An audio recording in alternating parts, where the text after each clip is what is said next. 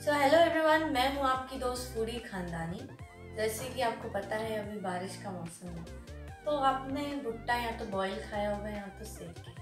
आज हम भुट्टे की सब्ज़ी बनाएँगे। तो कॉर्न की सब्ज़ी बनाने के लिए आपको ये इंग्रेडिएंट्स लगेंगे? तो कॉर्न स्वीट कॉर्न और आपको चाहिए काजू, आपको चाहिए बटर आपको चाहिए चाट मसाला, आपको चाहिए खड़ी लाल मिर्च।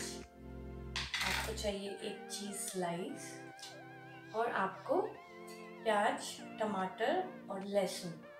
ये बड़े बड़े पीसेस में काट के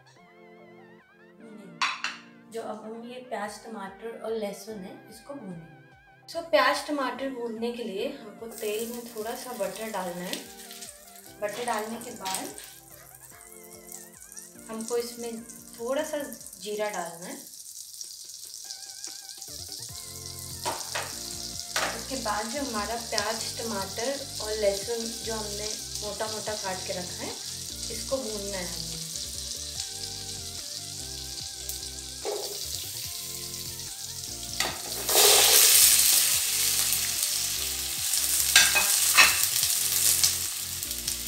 इसको थोड़ा सा क्विक भूनने के लिए हम इसको थोड़ा सा नमक ऐड कर रहे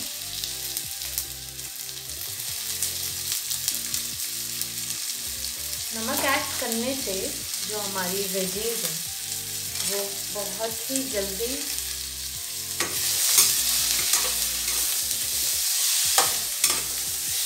पक जाती है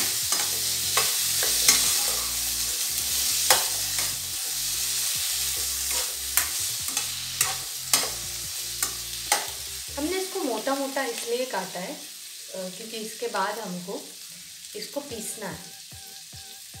तो पीसने के लिए, पीसने से पहले हमको थोड़ा सा इसको फ्राई करना पड़ेगा थोड़ा सा ढक के रख दीजिए। दो मिनट तक इसको रखना है। और जैसे ये पक जाता है देन हम इसको पीस लेंगे मिक्सी में। तो जैसे कि अब हमारा प्याज, टमाटर और लहसुन है, वो भून चुका है। तो अब हम इसको काजू के साथ अब हम इसको मिक्सी में पीस लेंगे ताकि हम इसकी ग्रेवी बना सकें। तो अब मैं इसको पीस लेती हूँ। जैसे कि हमने ये पीस लिया है, अब हम सेम पैन में बटर लेंगे।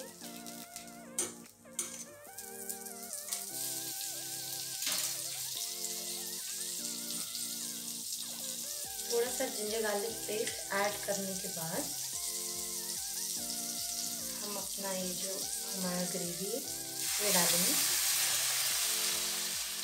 तो ग्रेवी के बाद हम इसमें थोड़ा सा पानी ऐड कर लेंगे।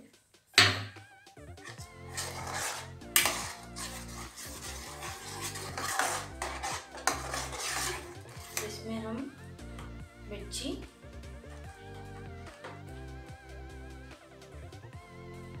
नमक थोड़ा सा, क्योंकि पहले हम थोड़ा ऐड कर चुके हैं।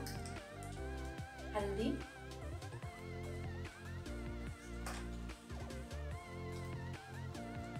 थोड़ा सा कांदा लहसुन मसाला, सूखा धनिया और चाट मसाला।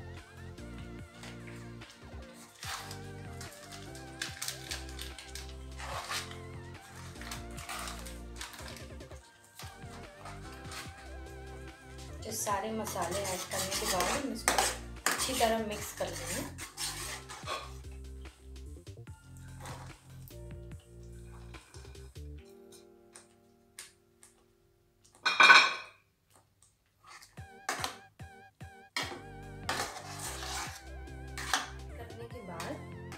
हम इस ग्रेवी को थोड़ा सा पकाएँगे, ताकि जो हमारी स्वीट कॉर्न है, वो भी थोड़े से पक जाए।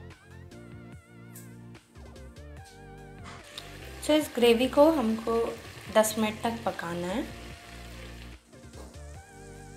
सो जैसे कि हमारी कॉर्न मसाला ऑलमोस्ट बन के रेडी है, अब गार्निशिंग के लिए हमको इसके ऊपर एक चीज़ स्लाइस डालना है। क्योंकि कॉर्न और चीज़ का कॉम्बिनेशन बहुत ही अच्छा लगता है खाने में। चीज़ स्लाइस या चीज़ क्यूब जो भी आपको पसंद हो आप डाल सकते हैं।